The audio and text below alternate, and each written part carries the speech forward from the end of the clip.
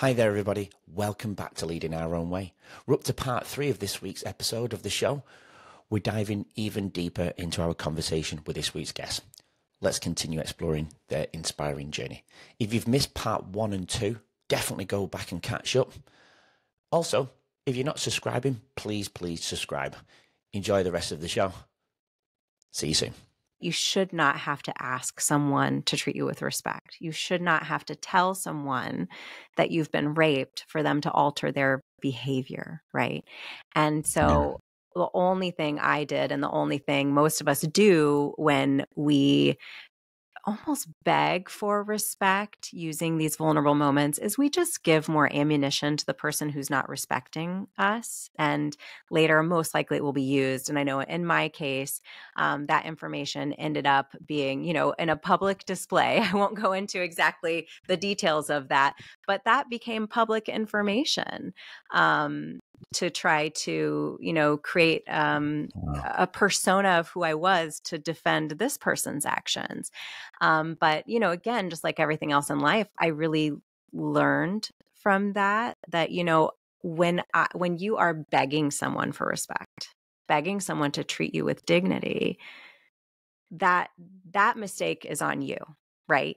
If you should not be begging for respect if someone is not giving you respect you really need to turn inward, reflect on whether that's something that is in alignment with who you want to be, how you want to live your life, and then make choices that often include not having a relationship with that person any longer to regain your dignity and not ask them for it back because they're already not not respecting it. So again, just like everything else in my life, that was a really important lesson and now I'm I'm so grateful because I think having those negative experiences has really led me to a point where I will not accept that in my life. I will protect my peace. I will model that for my children as well. And I think it keeps me so much more safe. It keeps me so much more focused. I have so much more energy to do important things when I'm not wasting energy trying to convince someone that I deserve, you know, just basic human level respect. And so I think when we stop wasting our energy in that way, again, that just puts us on a different path. And it's a path where we can really be successful and really lean into our future and, and just not worry so much about the road that they're trying to take us down. Yeah. I I had like four or five I had like four or five questions I was going to ask you then, but you just asked you just answered them all. so beautifully. And what a, what some what some valuable lessons for people to take away from all of those mm. points you've just made as well. It's um, beautifully said. So when so coming out of the music industry then um, what age were you and how did you how did you transition out of that and where did you go? Yeah so I had then become accepted into medical school. I had uh, moved back from, I had been living in New York City for years. I moved back to the Midwest um, after I had married and was just trying to figure out life. And I was getting my psychology degree in Indiana, and uh, it was suggested to me that I just go to medical school. and so I thought, okay, well, yeah, right? You know, how hard can it be? so well, that, I took my medical. Yeah. Sorry, that's right. Before, um, I remember actually discussing about New York City because I absolutely love New York yeah. City. I've, I've, been there many yeah. times. You were a young girl in New York City. That must have been mm. crazy because you wouldn't have been mm. able to drink. But you you went to the School of Music, didn't you? There. Yeah, I went to New York University and I was accepted into the School of Music Business. I had done an associate's right. in their general studies program, which is like incredible and life changing.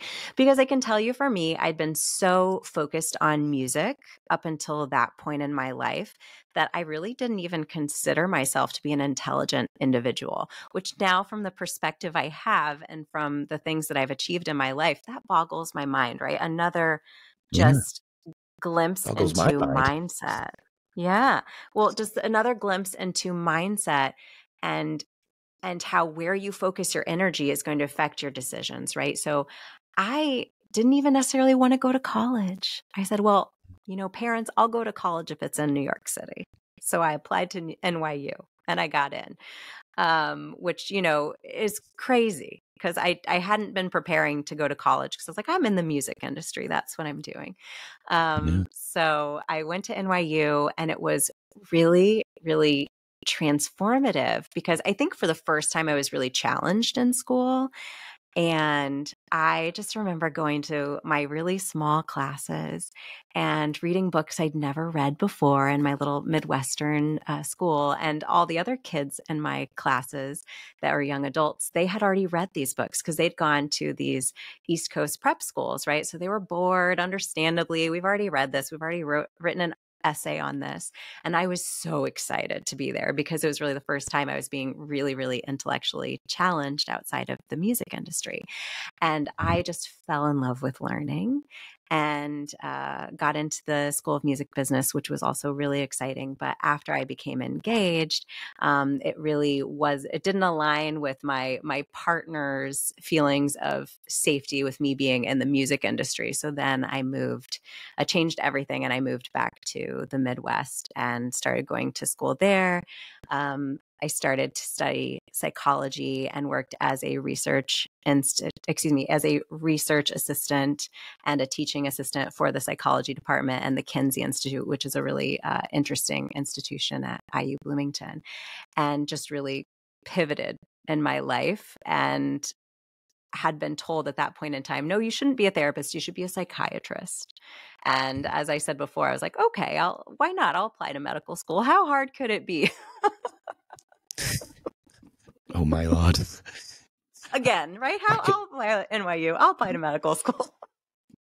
I wished I had done that now. Looking back, what I again, it's funny that you talk about mindset because my mindset now, I, I, I I more worried about drinking and partying when I was in university. I, I, mm. I didn't, hmm. you know, I, I, my mindset was completely off. But you know, I, I was young and whatnot. But I don't know. I know I went back to university here in Australia, and I aced everything. I didn't think twice mm-hmm. about it, but maybe I put it down to maturity. But I don't think mm. I enjoyed learning at 28. I just wanted to get it done so I could start my career. Now, mm. mindset, maybe I did mature mm. later. I know men's brains tend to mature around 27, 28, but uh, at 38, I just fell in love with, after writing the book, I fell in love with learning, as you can probably tell with some of the books behind me. And yeah. um, now I can, I visualize myself in like a neuroscience degree or PhD, and I can just I can visualize myself taking everything in. You know, mm. even if I didn't do it as a career, I'd just sit there and thoroughly enjoy it. I, I, I don't, I've gone off there, but it was just because you said about mindset. My mindset towards mm. learning is completely different, and if I can embed that in my teaching and when I am with the kids, it's not about them learning writing. It's not about them learning math. It's about them understanding the the brain to then switch it on to fall in love with learning, if, yes, if that makes yeah. sense. It's about the know. patterns, right? It's not about the subject, yeah. it's about the pattern and the mm-hmm. yeah. habit and loving learning, as you said. It that's that's when I started learning, was when I actually was in an environment that made me love learning. And that's something that we don't, you know, so your environment, you know, was it your age or was it also potentially your environment. We're surrounded by so many distractions and so many expectations of how we should behave and and those expectations are different at different ages too, right? It may have been expected yeah. that you needed to be in this role when you were in uni. Yeah, I, I think I was pretty left on the loose, I suppose, to make my own decisions. I don't. I never mm. felt um, I don't know, never felt like I was, you know, you've got to do this by this time. You've got to have your career sorted. I never felt like that. I think, mm. I think sometimes I view that now, to be honest, like, because I turned my career, as you know, into a casual teacher so I could do this podcast and my learning. But I did that because I, I was tired of toxic environments. I was tired of the burnout of industry because I couldn't do what I felt was right within it. Mm. As a casual teacher, I put the podcast to the side, put all of that aside. I actually get to teach.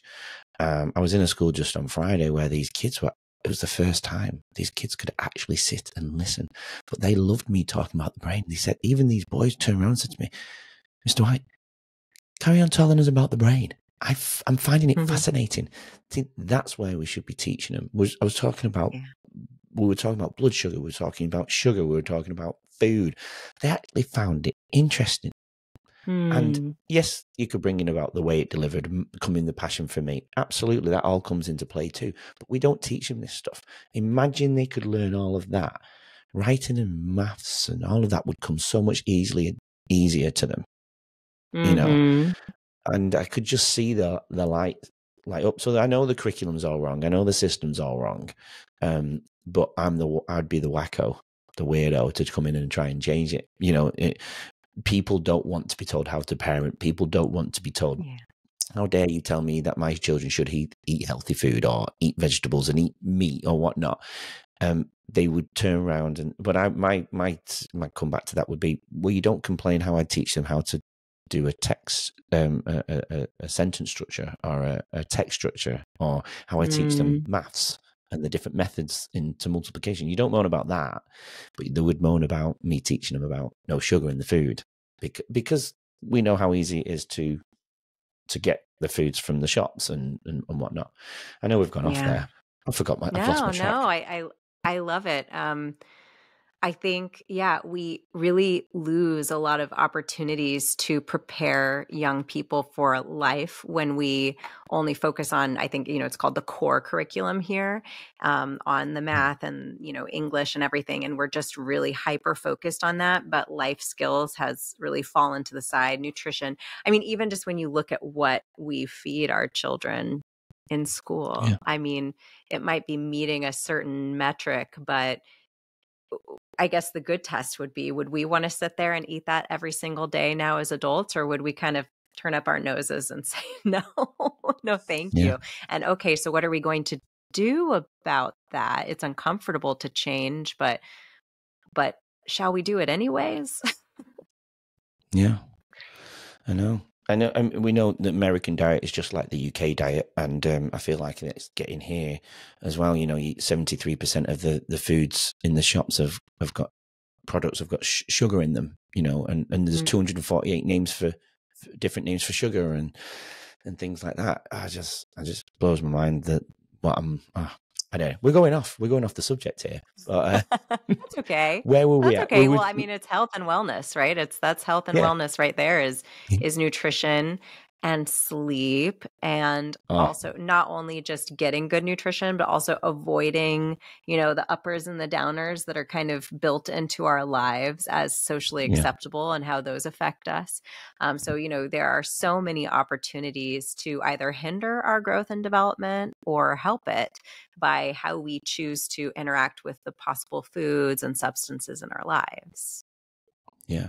And uh, I think that is the, the root. If we're going to the top of the chain, I do feel like that's the root cause of even unhappiness and depression Mm. and people making poor decisions going into crime. If they actually would le- learn, was taught, but then learned and reflected of how to actually feel good from sleep, from food, from contribution, through connection, through and what your daughter's doing is giving to the world, they're going to grow up happy people. Crime will be reduced. Um, Yeah. We'll have nicer people. We'll have people saying hi again in the streets, not ducking their heads because people can't have difficult conversations anymore. Nobody can look people in the eyes when they're walking down the street.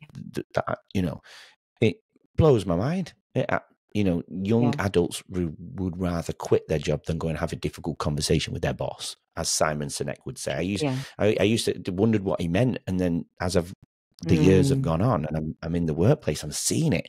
These young people are struggling. They they can't connect. They they struggle because of the way they were brought up and the food Right. that they were eating, and they're on devices till the point they're going to sleep, so they're not sleeping. Oh yeah, but I got my eight hours. Yeah, but how deep of a sleep did you get? Yeah. And we You know? stigmatize them and we blame them, but we don't necessarily give any responsibility to the society and, and the people who, you know, Yeah. maybe to their best intentions really set them on this path, right? And and we need to address all those issues if we don't want these habits to continue. If we want people to know how to deal with conflict, um, we we have to teach them how to deal with conflict. Yeah, yeah, absolutely. Yeah. So Can I can I share a story with you? Something that happened two days ago. It's pretty funny. absolutely, yeah, and it's and it's right down that it's right down that topic so uh, talk about teaching our children how to deal with conflict um, so my daughter, my beautiful daughter, um, show, I've got a picture of her here. Let me see if you can see it. So she, you can't tell here, but she has a braid in her hair. This is when she was eight. She has just this beautiful long hair and she never wants to cut it. She's very emotionally attached to her hair, but she finally decided she wanted to get her hair cut. So a few days ago, we had, you know, first uh, appointment of the day, go get the haircut. You know, she was excited, nervous, uh, went there with her little brother. We were getting it all done, but he's four, so he needed to go outside and play. So we said, okay, we'll see you in a few minutes. We're going to go play outside in the grass. Um, so we went outside to play, and then her brother had the most glorious nosebleed of his life. So we run back in. we run back into the bathroom of the hairstylist. We check in with Sissy. Everything's fine. Um, and then we're we're ready to head out. We all leave together, happy, short hair, life is great. And we see parked next to our car the city trolley that's only there in the summer months because we live in this big, lovely touristy summer area. And so we see this old town trolley. The kids have never ridden it before. And so they just run, Mom, is it okay? Yes, it's okay. They run to the trolley, get on the trolley. There's another little family there. The kids automatically bond. They're all chitty chatting together. It's beautiful. Um, and I say, Oh, you leave in a few minutes and it's going to be an hour ride. Do you mind if I go into my car and grab the water bottles for the kids? It's an hour and it's hot. And the driver looks at me like a deer in headlights and he says, Oh, that car right there? That's your car? Yeah, that's my car. Oh, we've been, oh, we need to talk to you. We've been looking for you. I'm I'm so sorry. So the trolley, while we were doing all these things away from the car, the trolley had hit the car. oh. Trying to avoid a car that was parked illegally in in their space, they hit my car that was parked legally. Um, but where it comes to though is so here's this, you know, somewhat quite inconvenient conflict that happened in this idyllic moment. And my kids were just so floored and enchanted by how it was managed. Yeah. Um, and I think, again, it's just showing how conflict can be managed properly. I know myself growing up, I would often see, not from my mom, but I would often see from other adults in my life, you know, kind of strong arming is is the way you get what you want and show that you're really upset because that's how you're going to, you know, impress upon someone that what they did was really bad and they're going to eh, make it right. And if you don't do that, then you don't show up strong, then you're weak. Um, and, and that's not my approach to life. And so, you know, we just sorted it out. Uh, the police were going to come. My kids were still on the trolley. So I said, Well, can we ride the trolley with you while the police come and take the report? Do we need to be here? And I was like, Because I, I, wasn't here when it happened. I don't know what happened. Yeah. so they let us ride the trolley. So here we are with the driver who hit the car. And we're all on this hour long journey together. and he's telling stories and interacting with the kids and we're all laughing and really about halfway through the kids even realize from the adults chatting like what had happened to our car and you know we we come back we get it all dealt with everything's fine and and everyone was really nice about it but i just tell the story because one you know how many people get hit by a trolley that's pretty interesting but two my kids saw okay, this accident happened. The adults weren't angry. They fixed it. And then they spent time together talking and getting to know each other more for an hour. And as small as that seems, they brought it up for days afterwards because to them, this was one of the first times that they'd seen conflict handled that way because even on the schoolyard right it gets really big right we have to get angry we have to uh, start a fight with our friends and start this back and forth. And they saw a different way to handle conflict. And it's funny because am I happy the car got damaged? No. But mm. am I happy that I had this opportunity to model this for my kids? Yeah. yeah, because how many times do we really have those opportunities, especially the older our kids get, for them to see us in real life, deal yeah. with things in a proper adult way. So, anyways, that was just something that happened in life that I thought was eh, just kind of funny and, and, a great opportunity to, like you said, just show people how we can deal with conflict and that it's okay to look someone in the eyes and say, Hey, I'm sorry, I hit your car, and then deal with as an adult and not run and hide. Right. Yeah. But, it, you know, it, it goes deeper than that, doesn't it? For you, in order to be modeling like that, you have to be secure and happy within yourself to a certain point at least in the way you get up yourself and set yourself up for the day every morning and and life uh, you know what i mean? If you're getting up miserable every day the chances of you doing it the way mm. you did yeah. probably would have gone the other way. And do you know what i mean? Am i right? What do you think? I think so anyway. Yeah. I, I think for me 10 years ago I, I wouldn't have been upset but maybe i would have been avoidant yeah maybe um, yeah and now there was zero avoidance. There not only was I not upset, I wasn't avoidant. It was just, yeah, this happened. Yeah. You know?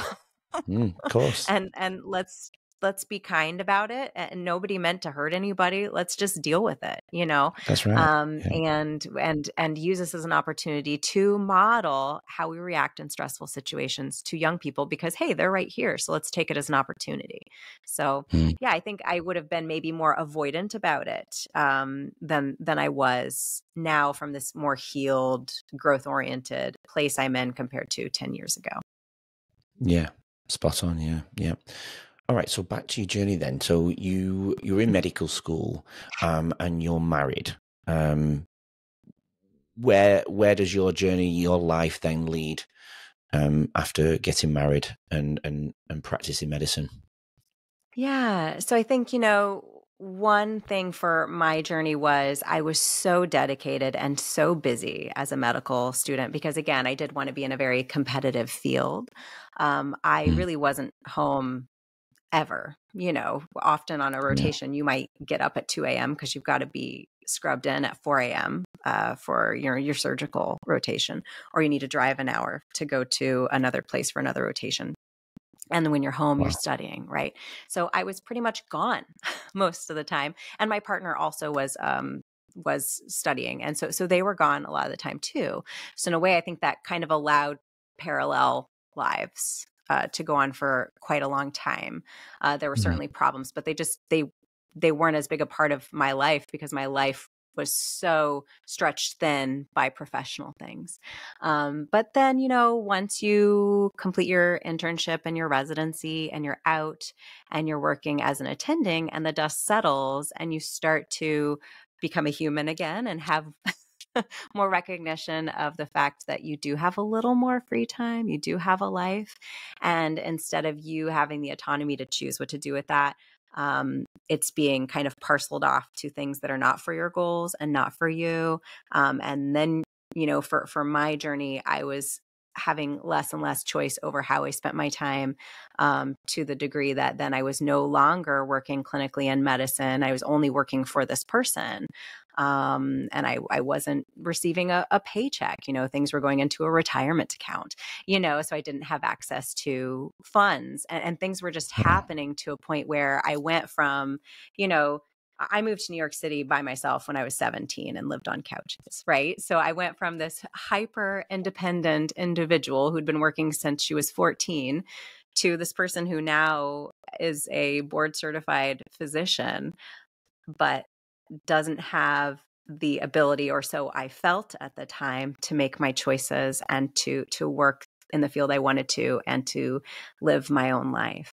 And so once because that process is so slow and insidious and the changes to the way you think that go along with those changes it's it sneaks up on you and because it's your life and it's day in day out and if you're surrounded by people who are really reinforcing that this is what your life should be um, when that happens you don't necessarily have the alarm bells going off uh, until someone else who's really supportive tells you and i think another problem is when we're in these circumstances we often become very isolated by design um, not only by the third party that benefits from us being isolated, but we, I think, also isolate ourselves often because we may feel shame or embarrassment. We may want to hold up a facade.